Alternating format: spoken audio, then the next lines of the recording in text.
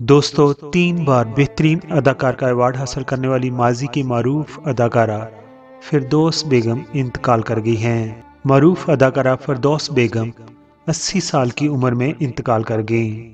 उन्हें brain haemorrhage होने पर अस्पताल में दाखिल करवाया गया था, जहाँ पर वो अपने खाल के हकीकी से जा मिली।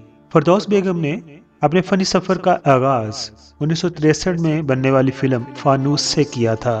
मगर उन्हें शुरू में जो शोहरत मिली, वो 1965 में रिलीज़ होने वाली फ़िल्म मलंगी से मिली और मलंगी फ़िल्म ने उन्हें सुपरस्टार बना दिया।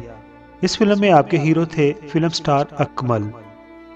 Film star Akmal के साथ जोड़ी आपकी बहुत हिट हुई और लोगों ने पसंद की और फिर दोनों ने शादी भी कर ली थी। मरहूम अदाकार अकमल आपसे मोहब्बत करते थे और शादी के बाद उन्होंने गुलबर्ग के इलाके में एक मार्केट खरीद कर उसका नाम फिरदोस मार्केट रख दिया था, जो आज भी मकबूल है। दोस्तों, अब बात करते हैं उस फ़िल्म की, जिसमें फरदोस ने अपनी अदाकारी के जोहर दिखाकर बड़े सगीर में पंजाबी फ़िल्मों की सुपरहिट अदाकारा का एजाज अपने नाम कर लिया।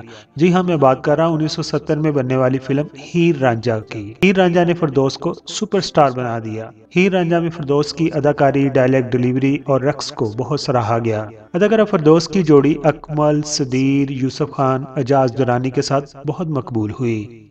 लेकिन आज भी आपको जो याद रखा जाता है, वो अदाकार एजाज दुरानी के साथ उनकी फ़िल्म हीर रांझा की नस्बत से याद रखा जाता है। फरदौस बेगम ने दूसरी शादी फ़िल्म साज शेख नज़ीर हुसैन से की थी। फरदौस बेगम ने उन्नीस में फ़िल्म इंडस्ट्री को खैरबाद कह दिया था, लेकिन फिर उन्नीस में दोबारा वो स्क्रीन पर जलवागर हुई। फरदौस ने अपने फनी सफ़र के दौरान 170 फ़िल्मों में काम किया। फरदौस ने उर्दू, पंजाबी और पश्तो ज़ुबान की फ़िल्मों में काम किया, और आपकी बेहतरीन अदाकारी को देखते हुए उन्हें तीन बार अवार्ड भी मिला। फरदौस बेगम की अगर औलाद की बात करें तो उनके दो बेटे और एक बेटी है। आपकी मशहूर फ़िल्मों की बात करें तो उनमें फ़िल्म मलंग, खानदान और औरत समेत हीर रांझा शामिल हैं।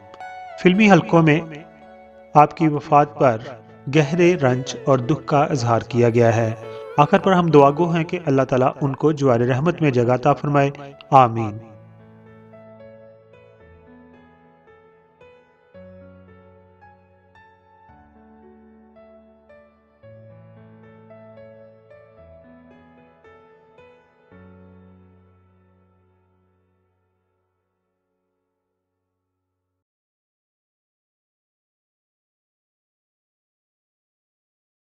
तो दूसरे चैनल की तरह मैं शुरू में नहीं कहता कि मेरे मेरे चैनल को सब्सक्राइब कर दीजिए, लेकिन अभी आपने वीडियो मुकम्मल तौर पर देख ली है। अगर पसंद आई हो तो मेरे चैनल को आप प्लीज़ सब्सक्राइब कर दें।